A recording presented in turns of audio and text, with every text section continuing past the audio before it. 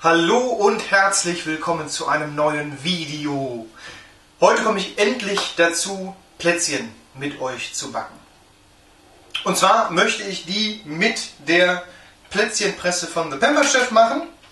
Und Zubereitung des Teiges mache ich einfach im Thermomix nach einem Rezept, aber von, von der The Pamper Chef ähm, Seite. Und die Plätzchenpresse stelle ich euch gleich nochmal im Detail vor, falls ihr sie noch nicht kennen solltet. Und ein Foto von den Plätzchen habt ihr ja gerade schon gesehen. Ich weiß im Moment noch nicht, wie sie aussehen. Da seid ihr mir schon ein wenig voraus. Und äh, ich würde sagen, es geht jetzt los.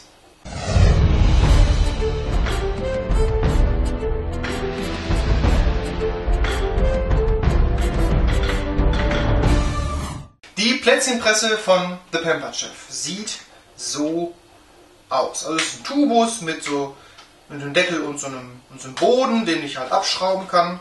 Und da drin, in diesem Deckel, befindet sich so eine, so eine Spirale und so ein metallischer ja, Stempel, Drücker, wie auch immer. Und im Boden, ich zeige es euch mal hier in der, in der Kamera, und im Boden habe ich die Möglichkeit, mir solche unterschiedlichen Scheiben einzulegen. Einfach indem ich das drehe, rausnehme bzw. reinlege, drehe, dann ist es halt fixiert. Und es gibt so ein, das ist so ein Stern und da sind noch viele andere unterschiedliche Muster mit dabei. Und zwar gibt es da einmal noch so einen, so einen Tannenbaum, so einen Stern und da Plätzchen dann nicht nur unbedingt was für Weihnachten sind, sondern vielleicht auch mal so für zwischendurch. Ein Schmetterling. Das ist so für das klassische Spritzgebäck sowas Ovales, da könnte man noch so eine, eine Mandel einfach noch in die Mitte drauflegen. Dann ein Schneemann, ein Kürbis für die Halloween-Zeit vielleicht und so eine Spirale. Diese sind alle mit dabei. Ich habe gerade gesehen, das Einlegen ist ganz, ganz einfach. Und der Vorteil hier dran ist, dass ihr eine unglaublich große Öffnung habt. Wenn ihr den Teig einfüllt, also erst den Boden da dran schrauben, dann könnt ihr ganz prima den Teig einfüllen. Hier passen 500 Milliliter rein. Das reicht so ungefähr, kommt darauf an, was man für eine, für eine, ähm, für eine Form dran hat. Ungefähr so für 40, 50 Plätzchen circa. Den Teig einfach einfüllen, ihr werdet es gleich sehen. Dann ein kleines bisschen mit diesem, mit diesem Stempel hier einfach nur festdrücken, dass möglichst die, der Teig schon verfestigt wird. Dann das Ganze aufschrauben und dann ganz einfach durch eine Drehbewegung wird dann das Plätzchen unten rausgepresst und bleibt dann am Zauberstein zum Beispiel haften. Aber das gucken wir uns gleich nochmal an, wenn wir dann soweit sind. Dann würde ich sagen, geht es los. Das Rezept habe ich von der The Pampered Seite. Und zwar, wenn ihr einfach auf pamperchef.de geht, dann seht ihr oben rechts äh, so einen Menüpunkt Inspiration und darunter findet ihr Rezepte für die Plätzchenpresse, dass ihr so mal äh, schon mal eine Vorstellung habt, was man da so machen kann. Das ist jetzt ein Rezept aus dieser Sammlung und zwar sind das, ist das ein Marzipan-Spritzgebäck. In der Anleitung steht, es sei wohl etwas für Erfahrene. Ich habe bis jetzt ehrlich gesagt noch nicht so viele Plätzchen gemacht. Äh, deswegen freue ich mich insbesondere, dass ich jetzt die, das Video mit euch machen kann. Und wir wollen auch mal gucken, ob das einfach so funktioniert. Wir fangen einfach mal mit der Zubereitung an. Und zwar sollen wir Marzipan in Stücke schneiden. Da habe ich jetzt diese Marzipan-Rohmasse, das sind jetzt 200 Gramm. Wir brauchen für das Rezept 100 Gramm. Und das schneiden wir dann einfach mal, ach nee, das ist das Tomatenmesser einfach mal in Stücke, beziehungsweise ich schneide es jetzt in Stücke und hole euch dann gleich wieder dazu. So, ich schneide das jetzt einfach nur so ganz grob in Stücke. So. Und als nächstes füllt ihr in den Thermomix, oder wenn ihr vielleicht sogar gar keinen Thermomix habt, macht das einfach mit einem Handrührgerät. Ähm, da füllt ihr jetzt 125 Gramm weiche Butter ein. Ich habe den Ofen übrigens schon mal äh, gerade, oder ich bin dabei, den schon vorzuheizen. Und zwar auf Ober-Unterhitze, das ist ganz wichtig. Und zwar äh, bei 170 Grad. Wie viel brauchen wir? 125 Gramm. 120. 100. Ups. 125 Gramm. Die Butter wird jetzt zusammen mit Zucker, und zwar äh, 100 Gramm Zucker, einfach nur cremig gerührt, 100 Gramm Zucker,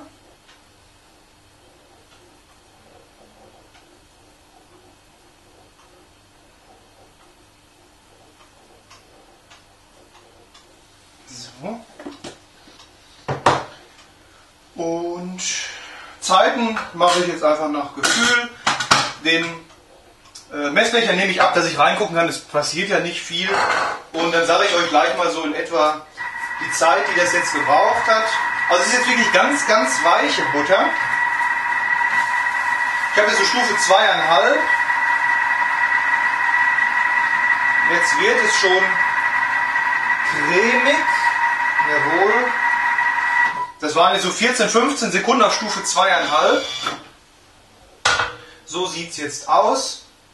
Und als nächstes kommt, äh, kommen die Marzipanstücke hinzu. Und ein Ei. Das ist jetzt noch kühlschrankkalt. Ich hoffe, das ist jetzt nicht so, nicht so schlimm. Ein Ei kommt hinein. Und dann soll das Ganze nochmal untergerührt werden. Auch dieses tun wir auch ohne Deckel. Und auch da sage ich euch gleich die Zeit.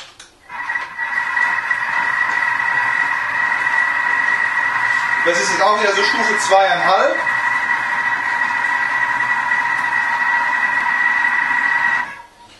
So.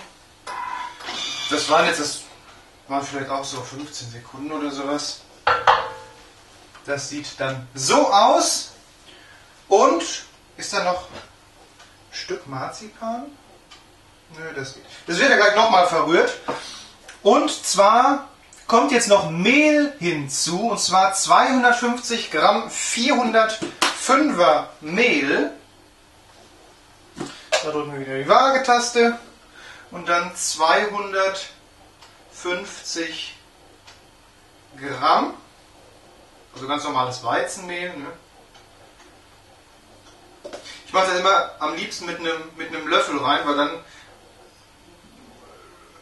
passiert mir das nicht, dass da so ein Schwall auf einmal an Mehl reinstürzt und so habe ich da die Kontrolle.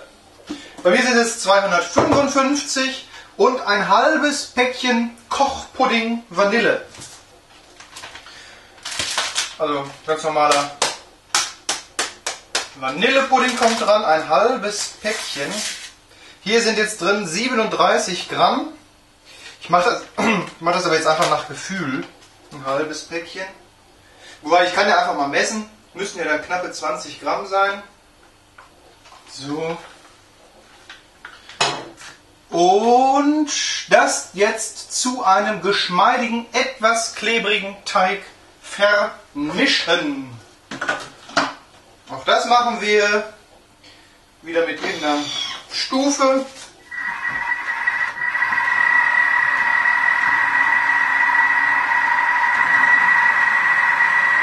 Oder vielleicht könnte ich da mal die Teigknetstufe ausprobieren. Das wäre vielleicht mal eine Idee. Teig. Ich mache mal eben die Zeit wieder auf Null, damit ich hier nochmal genau sehen kann, wie lange das jetzt knetet.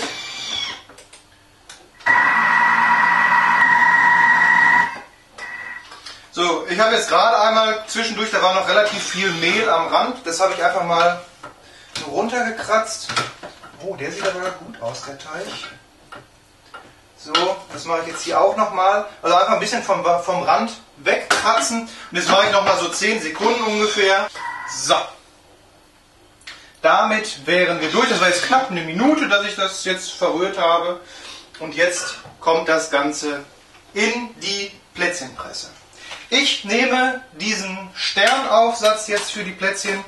Ihr könnt die Aufsätze auch zwischendurch einfach ähm, tauschen. Also einfach dann ein bisschen den, äh, die Spirale zurückdrehen, dann den Boden abmachen, das Plättchen austauschen. Plättchen, nicht Plätzchen, das Plättchen austauschen und dann habt ihr in einer Rutsche unterschiedliche Formen gemacht. Achso, einfüllen wollte ich. So.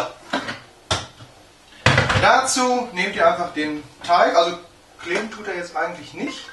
Und das ist jetzt so die Konsistenz, also er ist sogar relativ fest, wie ich, wie ich finde. Und den geben wir jetzt einfach mal in die Plätzchenpresse. Den drücke ich dann ein bisschen, ein bisschen fest. Den Zauberstein, ich mache das ja auf dem Zauberstein jetzt, da bitte aufpassen oder generell, dass ihr die Unterlage nicht fettet. Denn die Plätzchen haben genug Eigenfett und da braucht ihr das Ganze bitte, bitte nicht einfetten. Und die Unterlage, also der Zauberstein, muss kalt sein. Dann nur ähm, kann der Teig am Plätzchen, äh, äh kann der Teig am am Stein, so, am Stein haften bleiben. Und deswegen bitte nicht auf einen heißen Stein das Ganze machen, weil sonst bleibt das da halt einfach nicht dran kleben. Aber das riecht ganz, ganz wunderbar nach Marzipan und ich liebe Marzipan. So. Ihr seht, das ist die perfekte Menge für eine, für eine Füllung. So. Zack. Damit wären wir durch. Jetzt nehme ich einfach hier äh, mein, meine Platte von dem, hier die Platte von, dem, von, der, von der Oberseite und drücke das jetzt einfach schon mal so ein bisschen, ein bisschen fest. So.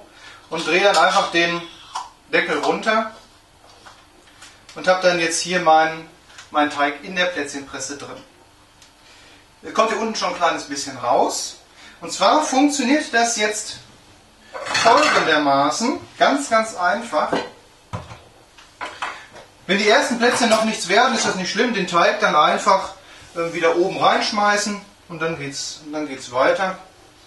Jetzt nehme ich mir den Zauberstein, den kalten, nicht eingefetteten Zauberstein, setze jetzt die Plätzchenpresse an und jetzt muss ich auch selbst erst nochmal ein Gefühl dafür entwickeln, wie weit muss ich drehen. Hier steht jetzt eine Dreiviertel bis eine Umdrehung.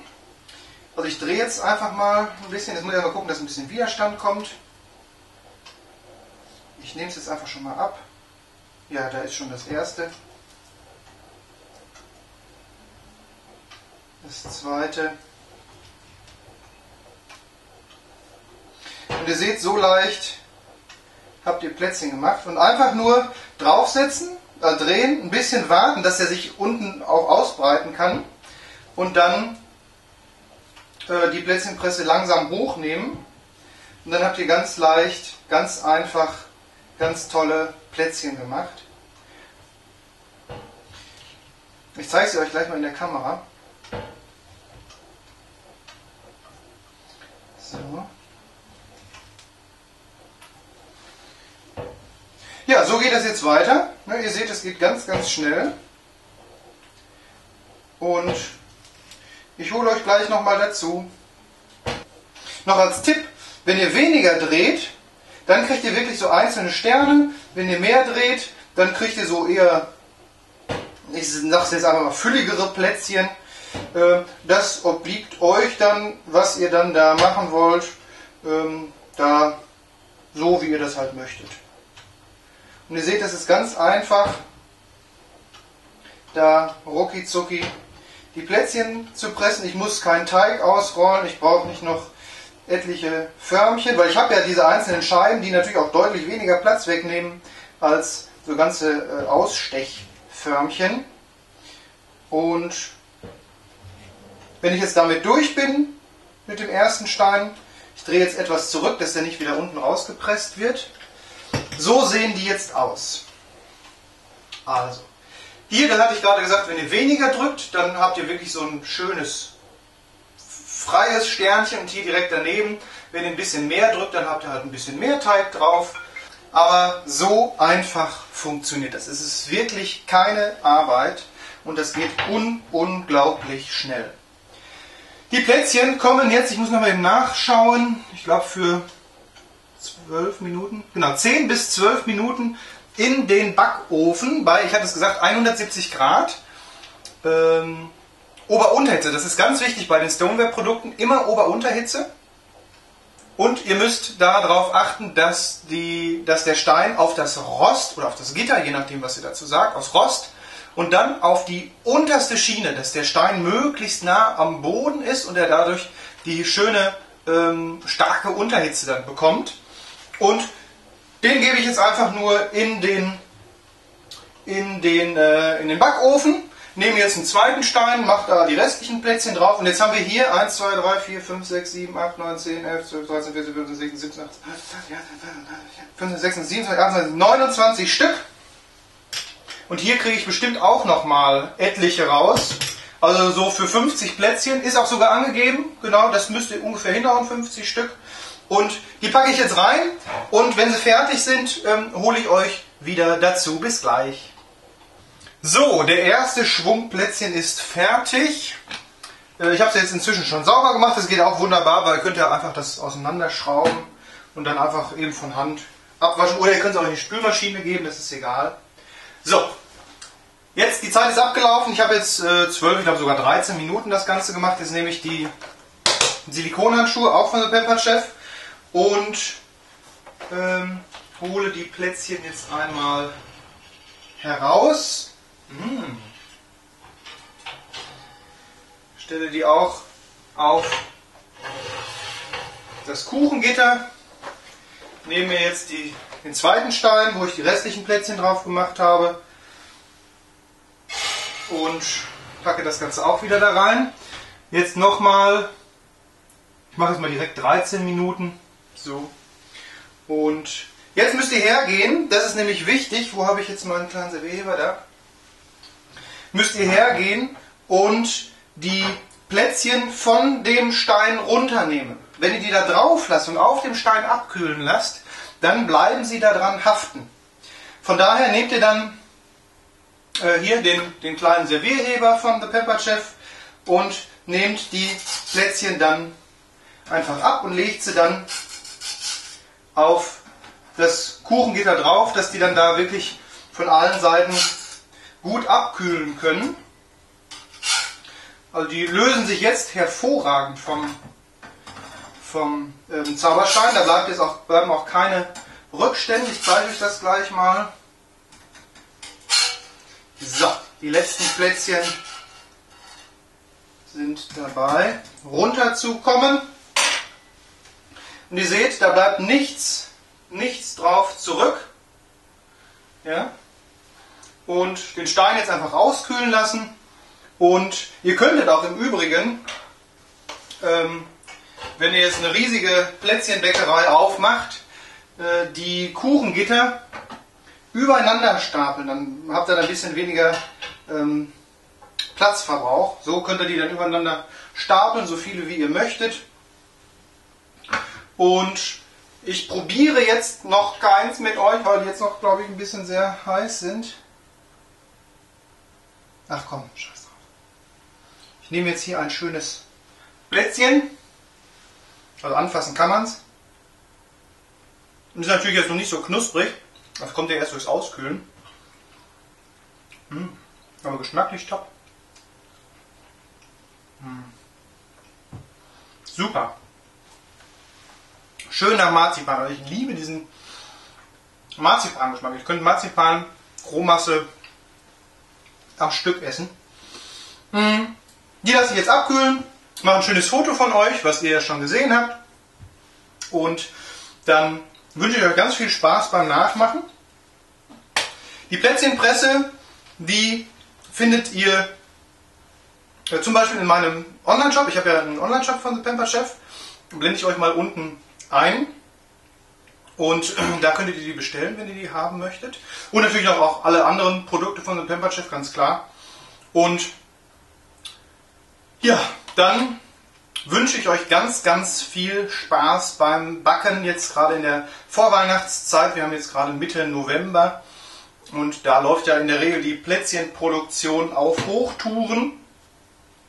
Und ganz viel Spaß beim Nachbacken und wir sehen uns hoffentlich in einem nächsten Video wieder. Bis dahin sage ich und tschüss.